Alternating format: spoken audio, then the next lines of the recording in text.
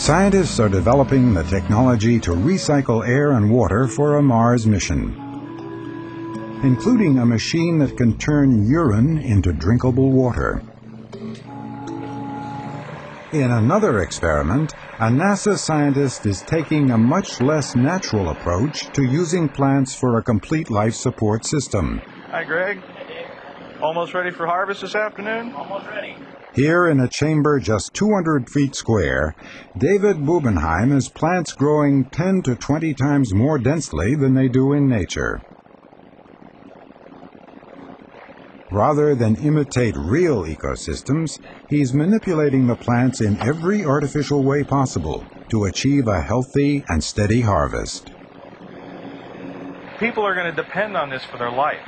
So we're trying to be able to show that we can maintain for an extended period of time all the food, all the air, all the water that a crew needs while recycling their waste. Based on experience with the prototype, they know exactly how big a system would be needed to support a real base on Mars. This chamber is about 200 square feet, and for a crew of four people, it would be able to supply and recycle all the air and water but it wouldn't supply 100% of the food in that case. Uh, to do that, you would need an area about four times this large, or a chamber about this size per person. Bubenheim is now experimenting with the color of light to try to reduce the energy needed to run the system. Well, in all the scenarios we're considering for a space-based habitat, energy is extremely limited. And if we're going to take electricity and make light, we need to use it very efficiently.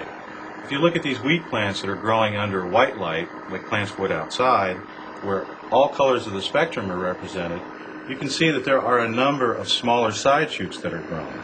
Those side shoots are waste that has to be recycled because it's only the taller center shoots that produce grain.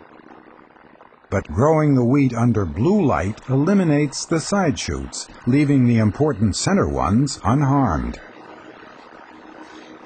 Red light works the same. If the color of light can reduce the waste for crops other than wheat, plant-based life support will become even more attractive. But can a plant-based system work reliably over an entire Mars mission? At least one astronaut fears there could be a crisis. Story Musgrave. If there is any form of virus, bacteria, disease, or the plants for some reason become not healthy, then that balance is thrown off and it's fatal. The kinds of designs that we're looking at in actually building one of these for space would actually provide us some segregation. So if a disease were to come into one section, it could easily be separated and quarantined so that the disease didn't spread to the rest of the plant.